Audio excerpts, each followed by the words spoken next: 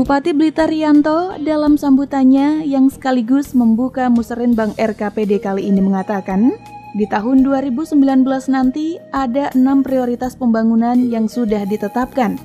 Di antaranya adalah penanggulangan kemiskinan dan pengangguran, pemerataan infrastruktur dan sumber daya air, peningkatan keamanan, peningkatan mutu pendidikan, kesehatan, dan persamaan gender peningkatan tata kelola pemerintahan berbasis teknologi, serta peningkatan ekonomi kreatif.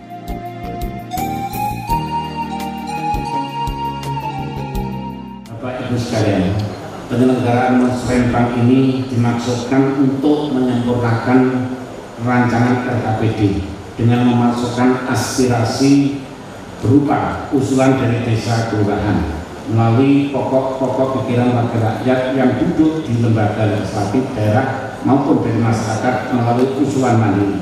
Tentunya dengan tetap memperhatikan arah kebijakan pembangunan tahunan yang telah ditetapkan dalam RPJMD.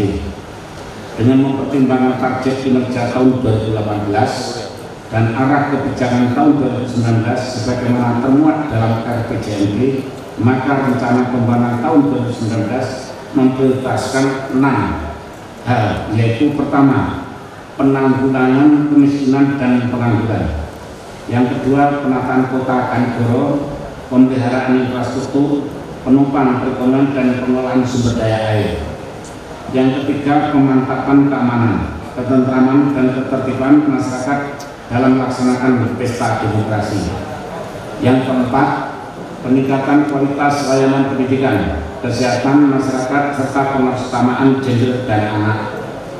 5. Peningkatan tata kelola pemerintahan, kinerja ASN dan peningkatan pendapatan daerah berbasis teknologi informasi. Yang keenam, peningkatan daya saing usaha melalui sektor ekonomi unggulan berbasis kawasan dan berkelanjutan. Keenam prioritas tersebut telah saudara-saudara sekalian jadikan acuan dalam menyampaikan aspirasi rencana pembangunan tahun 2019 melalui musrenbang kecamatan. Paradigma tentang pembangunan yang terencana selaras mulai dari tingkat desa hingga tingkat nasional sudah harus melekat di dalam benak kita. Musrenbang kabupaten bukan lagi yang ajang untuk sekedar memperjuangkan kebutuhan atau keinginan masing-masing desa atau kelompok tertentu. Namun kita sudah harus bisa berpikir lebih luas lagi. Apa yang sangat diperlukan oleh daerah, apa yang bisa memajukan bagi kita secara umum dengan tetap berpedoman pada rencana pembangunan jangka menengah daerah. Maka pada hari ini dalam musrenbang kabupaten yang merupakan kelanjutan dari musrenbang kecamatan yang telah kita lalui, pilihlah usulan yang benar-benar menjadi prioritas wilayah yang menyangkut kepentingan bersama bukan hanya kepentingan wakil yang hadir di sini didiskusikanlah pilihan itu dengan narasumber yang ada di masing-masing teks nanti mana yang terbaik yang sesuai dengan rencana pemerintahan daerah sesuai dengan kapasitas keuangan daerah dan seterusnya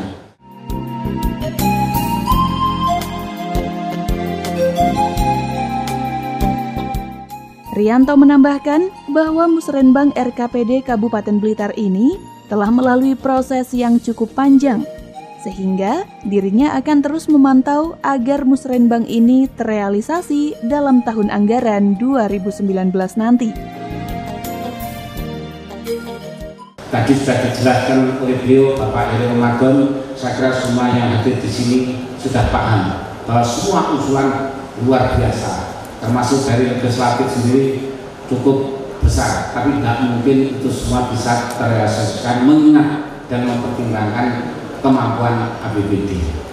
Saya yakin dari usulan super prioritas yang nanti dipilih oleh kecamatan akan ada usulan yang tersisa. Di lain pihak, saya percaya kalau usulan itu juga sangat penting karena sudah menjadi hasil musrenbang kecamatan. Untuk itu, saya sungguh berharap anggota DPRD yang hadir di sini berkenan mengikuti tes agar usulan yang tidak dapat terakomodir dalam berita acara muslim Kabupaten ini dapat diakomodir menjadi pokok pikiran anggota DPRD sesuai dapilnya. Selanjutnya kepada TAPD dan Dinas Teknis yang mendapatkan usulan pastikan usulan yang terpilih pada forum ini masuk dalam renja ataupun RKA yang akan disusun setelah ini, saya melalui Bapeda akan memantau agar hasil musrenbang ini terrealisasi dalam tahun anggaran 2019. Bapak Ibu hadirin sekalian yang sangat saya hormati, musrenbang kabupaten ini proses yang sangat panjang dengan pengorbanan waktu, tenaga dan pikiran yang melibatkan banyak pihak untuk itu. Saya menyampaikan penghargaan dan terima kasih atas pengorbanan Bapak Ibu sekalian yang telah rela meluangkan waktu, tenaga dan pikirannya untuk berupaya menghasilkan rencana pembangunan yang ideal sesuai dengan harapan kita semua.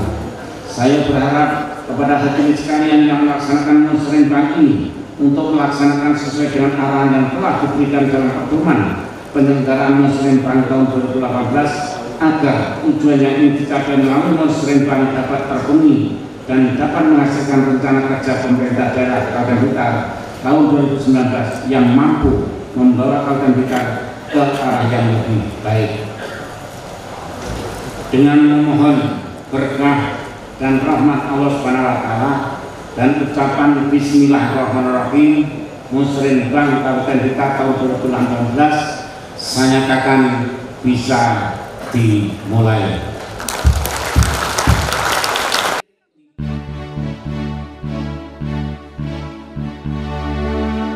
Usai memberikan sambutan, Bupati Blitar Rianto melakukan penekanan tombol sirine sebagai tanda di launchingnya aplikasi perencanaan dan penganggaran bisa segera dimulai.